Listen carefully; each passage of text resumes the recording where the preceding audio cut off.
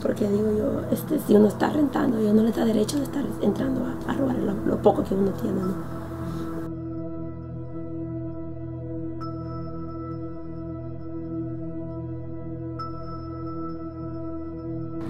We have been called all kind of niggas around here. They call us all kind of niggas, bitches, hoes, dope fiends, dope dealers.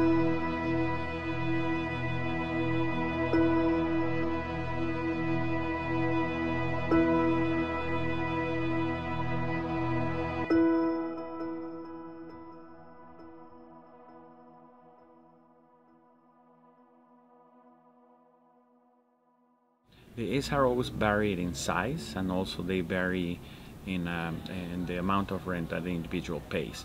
I have seen some that are subsidized uh, by uh, public funding. However, there are some that are not subsidized and we have seen rooms as small as 10 by 10 or 12 by 12 in which you have a family of four or more sometimes paying about a thousand dollars a month.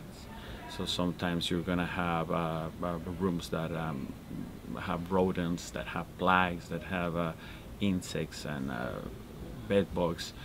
Um, also, you're gonna have exposure to lead and other chemicals, and landlords that are not very responsive.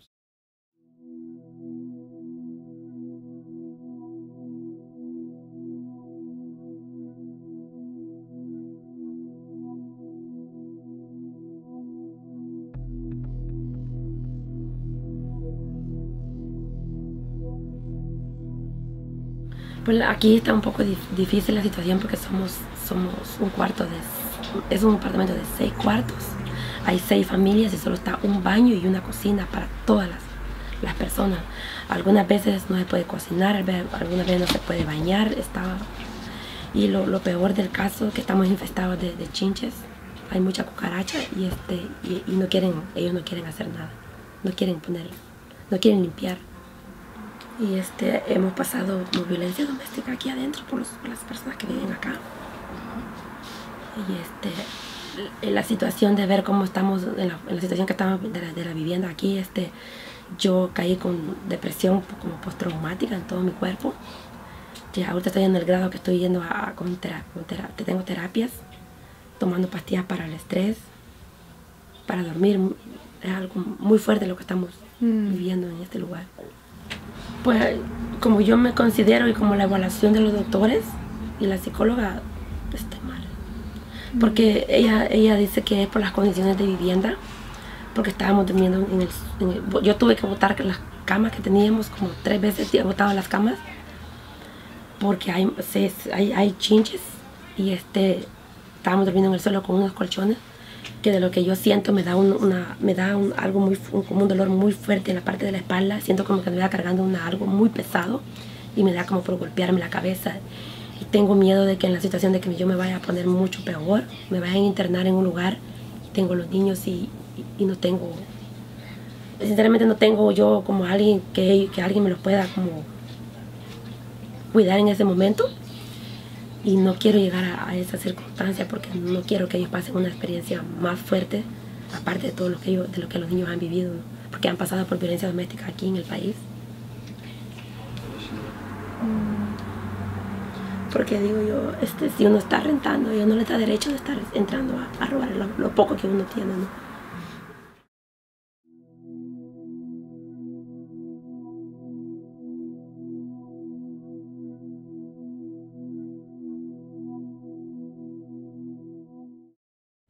Living in an SRO represents another series of challenges besides the ones that I described earlier. So depending on the area where you are, uh, depending on the people living in the building, yes, sometimes you're going to have people knocking in the middle of the night uh, offering drugs, which is going to be like definitely a, a, an extra challenge for those in recovery. Uh, there, there's a lot of uh, frictions that uh, most of us do not experience living in our in our own places.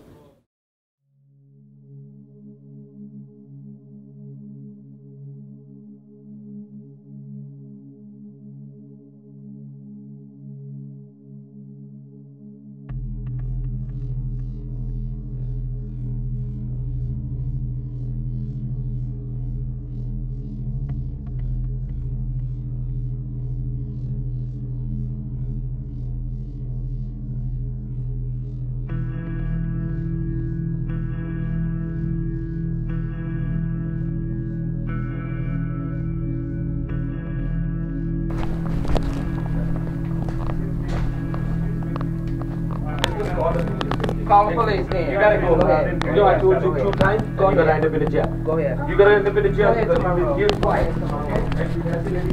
Landlord, I want you to. You ain't no landlord. You I want you to leave right now. No, you're not gonna leave right now. Okay, go ahead. Go ahead. Go ahead, Sam. They're not trying to help you right now.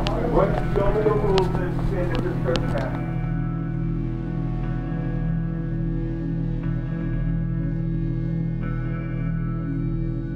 okay, and that we're having big, big problems around here with management.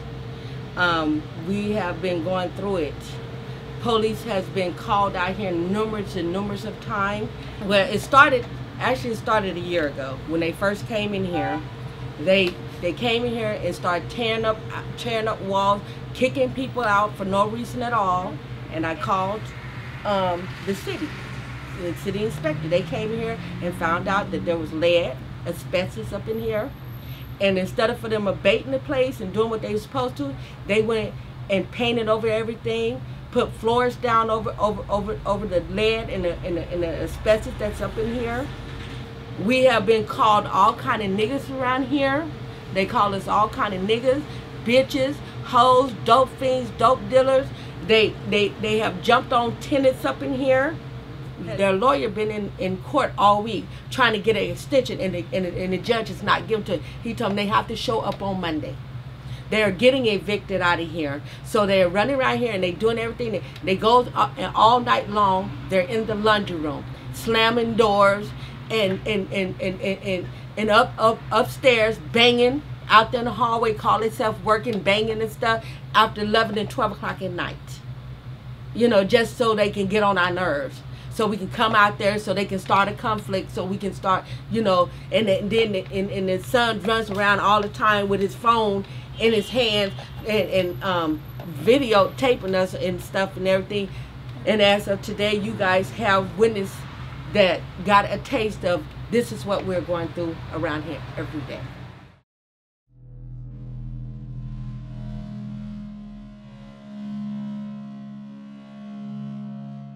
Was gonna run this place like a prison, him and his son. And that's exactly what he's trying to do. Actually, he's running it worse than a prison because in prison they don't treat you like this.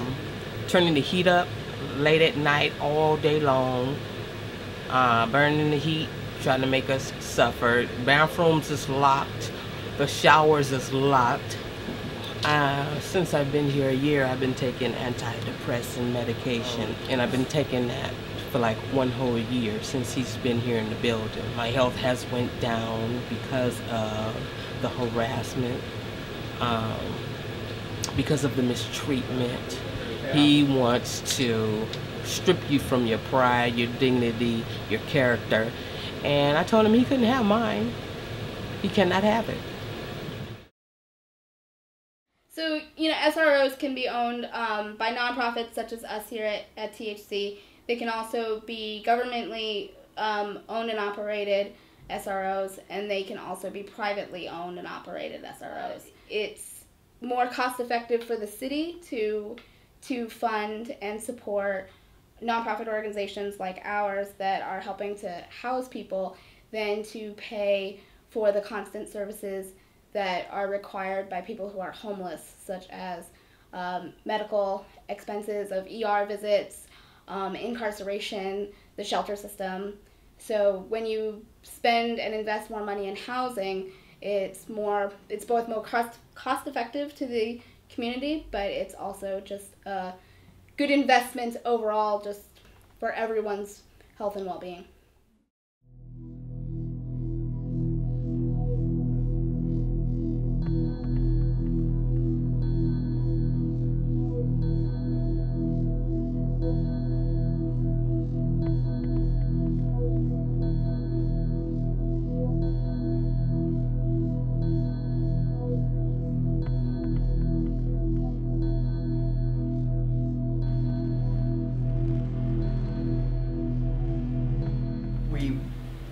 Came we were driving back from Missouri our car burned up 126 miles away from here and a truck driver and his sister threw all our stuff into into into his truck and drove us to 24th Metro where we wound up with shopping carts full of our stuff, and a friend of mine brought his bike and a trailer, which we stuck our dogs in. And um, then the hot, the hot team found us and stuck us in the Civic Center Hotel. Oh, and the Civic Center Hotel, they had this didn't have separate bathrooms for men or women. Um, it didn't happen to me, but there were several women that were in the shower when some man would come and kick in the door, and they were they were drug infested. I mean, they were dealing drugs right out in the open in the hallway and and doing drugs in the hallway and didn't really like living around it, but it was better than living on the street. I guess. I don't know. I lived in the Civic Center for six or seven months and then my my number came up, I guess, through GA and they this was the housing that they offered me. This place is a lot better. There's issues, you know, there's cockroaches. Can't, not much you can do about that. Um, I don't have bed bugs, fortunately, but this is, it's not the best place. The only thing that really makes me angry is that I have no chance to move up into, like when they're building new housing, new affordable housing, they only want to move homeless people into it. And I think that there should be a step up program where since I've lived here for almost two years, I have no write ups, I have no, I'm not behind on my rent. Why don't I get a chance to move into one of these little studio apartments that they're building? But I don't because I'm not homeless anymore. And well, my rent is paid from GA, okay? And if all I, if I didn't go out and find these two little stipend and things, I'd be living off $124 a month and $189 in food stamps. Maggie is my service dog. She helps me with my anxiety because I have pretty high anxiety and PTSD and and a bit of depression. But Maggie's that's her job, and she does it well. You know, she she's all leave me alone.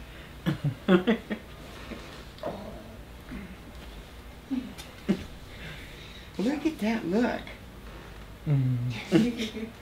yeah. Most of our families are immigrant families from China. Um, so they came from different areas from China. Some some of them from Hong Kong. Uh, most of them are working really minimum wage jobs. Some of them didn't get paid the minimum wage as well. The competition is high.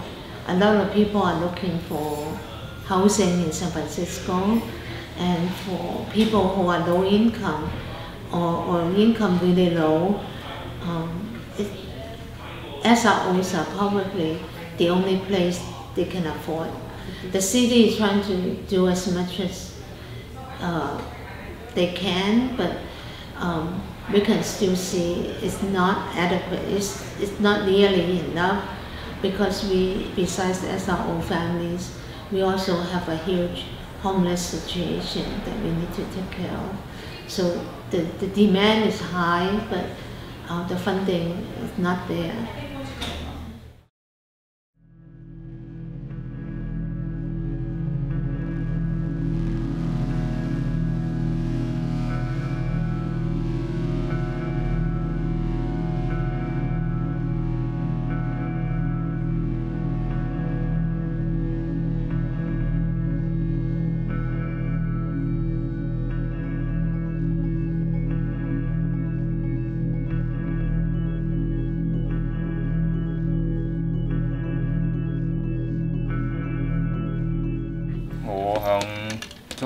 東中山嗰度出世。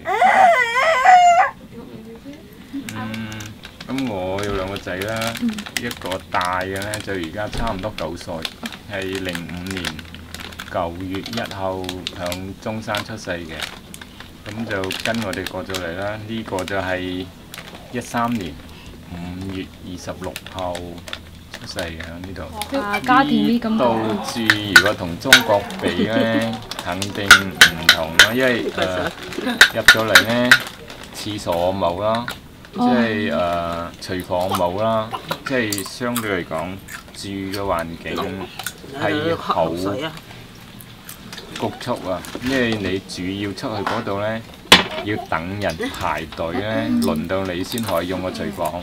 如果去廁所呢，又係要排隊嘅。 太有啲難過咧。我要搬嘅話呢，相對嚟講要個收入可以負擔得起先得，因為好似而家有可負擔房屋呢，因為我得一個人做呢，其實都唔可以達到可負擔房屋嗰個申請資格，因為佢個收入我達唔到，唔同。就算你喺中國咁呢，係咁啊，比呢度好好多嘅環境， 其实都有，但系嚟到呢度你话冇，其实系假嘅啫。 San Francisco is uh, facing an unprecedented housing crisis, which um, is very tragic. This city um, is special not because uh, there are beautiful hills and beautiful Victorian houses, but rather because the people that build this city that are very special, the working class, the artists, the Bohemian people that work this that built this city, and now they've been forced to relocate. So we're talking about the most affluent city in the United States that uh, has uh, anywhere between 7,000 and 10,000 homeless individuals living out there. So that creates a lot of questions about the priorities of our federal and uh, state and local governments.